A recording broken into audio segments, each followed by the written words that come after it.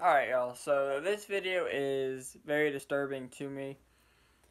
Now, this is about a 35 year old mother who was traveling with her 8 year old child who was dragged out of her car, beaten by a group of ATV and dirt bike riders mm-hmm. after she honked at them to go because they would not move at a green light.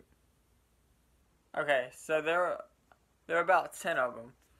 Now, um, like I said, she honked at them at the light to go around 11 p.m. Tuesday in Providence, Rhode Island.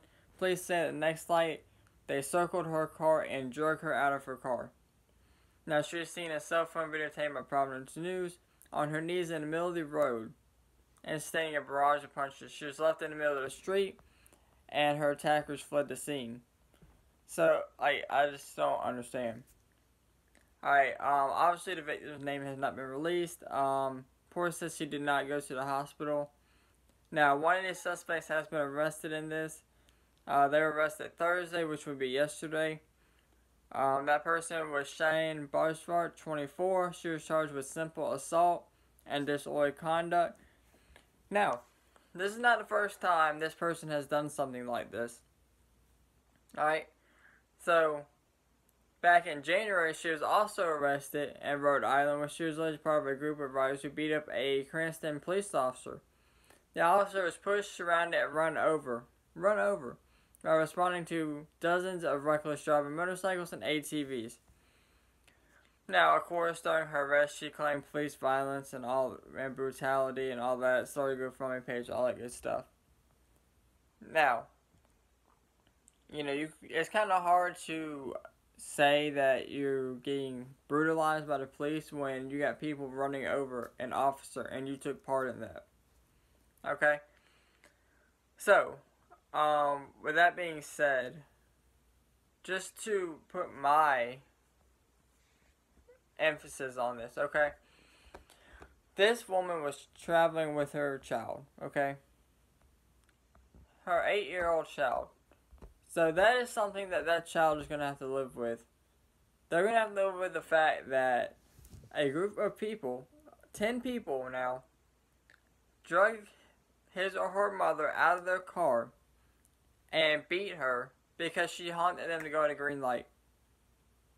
Like, do you know how many people get honked at at a green light every day? People are distracted on their phones. People are looking out the window. People aren't paying attention. People are doing whatever and they're not paying attention. Like people honk all the time. If you are that upset that somebody honked at you because you did not go at a green light, then you, you you're lost. Okay, you just need to be put in a mental institution. If that really pisses you off that much, to gang attack this woman then you don't need to be driving and you don't need to be out in the streets. You need to be locked up somewhere. Okay, like I said, if it upsets you that much, you don't need to be in the streets.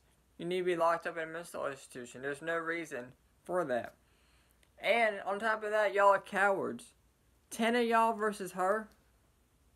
Alright, and in the pictures I'm looking at, it looks like there were males in there. And that's even more disgusting. Like, even if it was all females, that's still disgusting. 10 on 1. Like, y'all are such cowards that you can't fight one on one. You have to have 10 versus 1. And on top of that, in front of her 8 year old child. And like I said, it's even worse that there are men and they're participating in that. The men should have stepped in and stopped the attack. They should have broke it up between the women. Like, I, I don't understand. Like, that is so so disgusting. Like, and again, it's in front of her eight year old child. Like, I, I don't understand why anybody would think that this is okay to do this in front of an eight year old child. And you've done it before. You were involved in this before, and you you had people riding over a police officer, and you didn't stop it there. So why would you like? Why is this any different? And if this happened back in January, why are you out now? It's August, so why are you are you even out now? That that's my biggest thing. All right, um, but if any more information comes out on these suspects, I will definitely bring that to y'all. Um, but as always, let me know what you guys think down in the comments below.